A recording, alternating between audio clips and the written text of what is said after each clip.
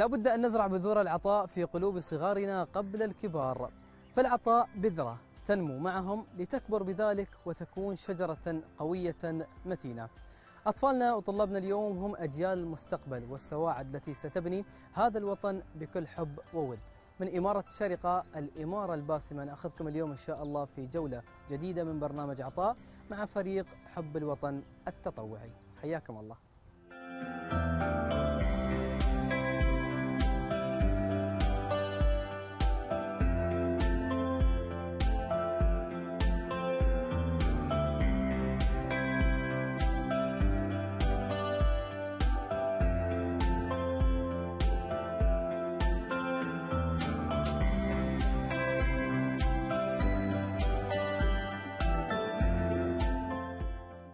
في حب التطوع تأسس فريق حب الإمارات التطوعي عام 2016 تحت شعار التطوع في خدمة المجتمع والوطن أولاً.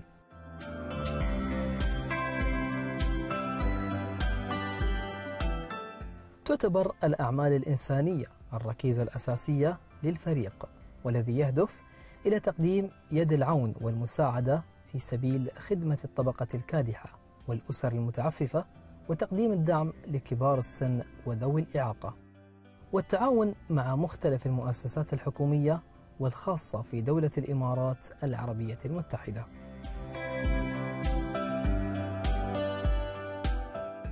حصل فريق حب الإمارات التطوعي على العديد من التكريمات المعنوية ووسام العمل التطوعي الإنساني المتميز من إمارة الشارقة. التطوع رسالة سامية. وواجبنا جميعا نشر تلك الثقافة لتعزيز روح التكافل والرعاية المتبادلة بين جميع فئات المجتمع.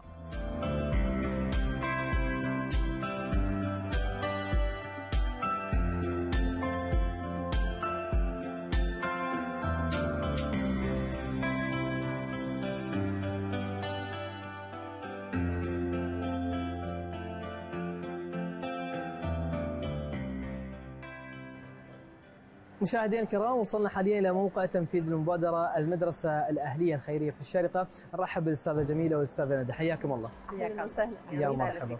أستاذة جميلة نبتدي اليوم بتعريف عن هذه المبادرة. ما هي مبادرتنا لهذا اليوم؟ وشو اللي راح نقدمه إن شاء الله؟ أول شيء أرحب بكم وأرحب بقناه الشرقية من كلباء. شكرا جزيلا على هذا اللقاء. نحن موجودين اليوم في مدرسة الاهليه الخيرية بالشارقة. أنا مديرة فريق حب الإمارات التطوعي. أحببنا اليوم يعني يكون في عندنا مبادرة يعني انضمينا مع المدرسة مع الطلبة والمتطوعين. مبادرة بيئية. إن شاء الله بتكون على شط البحر إمارة الشارقة. فطبعا هذه المبادرة يعني هي ترمز إلى العمل البيئي. وبنفس الوقت إنه نحن مشاركة ما بين الطلبة نحس يعني نعطيهم نحفزهم على العمل التطوعي البحث يعني العمل خدمة المجتمع والوطن. ف وبصراحة المدرسة ما قصرت في تقديم وحبها لهذه المشاركة.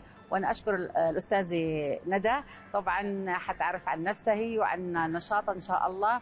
وأشكركم جميعا. شكرا. إن شاء الله إن تكون مبادرة يعني مفيدة للجميع بإذن الله إن شاء الله. شكرا. أستاذة ندى. أنا بداية بوجه شكري لتلفزيون الشرقيه وشكرا لمبادرتكم أنا ندى البكري مديرة المدرسة. طبعا نحن نؤمن بالعمل التطوعي إيمان كبير ونؤمن أيضا بأن يجب على كل طالب أن يتحمل مسؤولية فهو إنسان مكلف بالنتيجة. لذلك نحن ساهمنا مع فريق حب الإمارات في هذه المبادرة. طبعا نحن عندنا قناعة كاملة إنه هي النوع من المبادرات بتنمي شخصية الطالب وبتسقله بالإضافة إلى تنمية مهاراته وخرطه في المجتمع. فبيبقى يعني علاقته مع المجتمع علاقة قوية وبيبقى بنبني عنده الثقة بنفسه وحبه للأعمال التطوعية. يعطيكم العافية والله يقويكم على هذا الدور الكبير في العمل التطوعي. إن شاء الله شكرا لك. العفو، أستاذة جميلة آه الخطوة التالية إن شاء الله شو بتكون؟ إن شاء الله الحين حتكونون معنا إن شاء الله كيف يتم ترتيب وتحضير المتطوعين إن كان من الطلبة أو أيضا من فريق حب الإمارات. حنصور ونشوف إن شاء الله بالعين الثاقبه إنه كيف يتم تحضيرهم وتشجيعهم وكيف كيف يكون الأسلوب التعامل ما بين مثلا المنسقين مع المتطوعين. فإن شاء الله يكون يوم شيق وجميل إن شاء جدا. الله. إن شاء الله. إن جاهزين إن شاء الله؟ إن شاء الله بإذن الله. حياكم الله. شكرا. شكرا.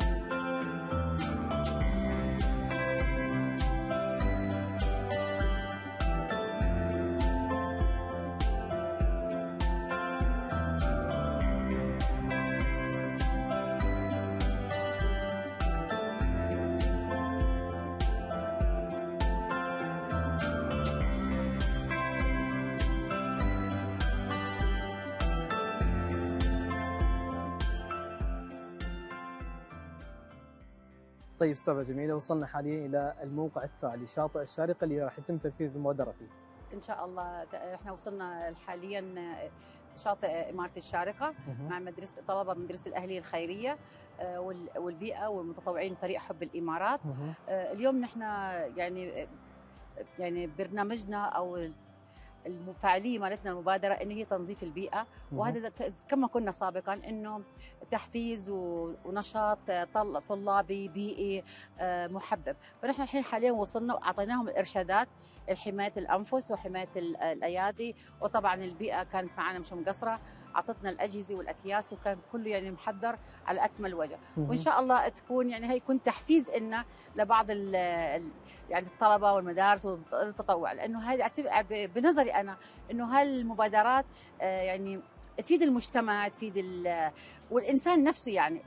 يحبب العمل الجماعي. عمل التطوعي. وهذا مطلوب منا ونحن ما شاء الله في دولة الإمارات العربية المتحدة صار العمل التطوعي آه، يعني له مجال كبير ونشاطه الحمد لله والدولة تساعدنا وال- يعني تعطينا ال- الدعم المعنوي والإنساني وال- وكل شيء الحمد لله. طيب بما ان تحدثنا عن التعليمات أبرز التعليمات اللي تلقاها الفريق أول شيء هو أول شيء نحن دائما نعطي بأي مثلا بخطة كانت ميدانية أول شيء حماية الأنفس. يعني الإنس- آه، مش أنا خ- أشوف مثلا أي شيء مثلا زجاج ولا أشوف أي شيء مثلا خطر حشرة أروح أمسكها بإيدي. فهذا نحن نعطيهم تنبيه يعني أعطي للمختص. طبعا هم لابسين قفازات وحاطين. كمامات ويعني كل التعليمات. ثانيا التعاون. التعاون مع بعض. يعني مثلا ممكن لو في مثلا أي شيء مثلا كبير الحجم ولا أي شيء يتساعدوا مع بعض. آه، ممتاز. وعدم التباعد. يعني لازم يكونون كله مراقب ويعني عندهم إرشادات وكلهم فاهمين ما شاء الله واعيين. آه، وطبعا هن عارفين إنه ليش جاي جايين حق شنو؟ جايين إنه عشان حبهم بالعمل التطوعي. آه، طبعا نحن بإمارة الشارقة ونحن عارفين إنه الشيخ الدكتور سلطان محمد القاسمي ما يقصر معنا ويشجعنا على الأعمال التطوعية الإنسانية. وعنوان الشارقة ما هي أبتسم فأنت. في الشارقة. يلا نبتدي؟ إن شاء يلا الله. تفضل. تفضل.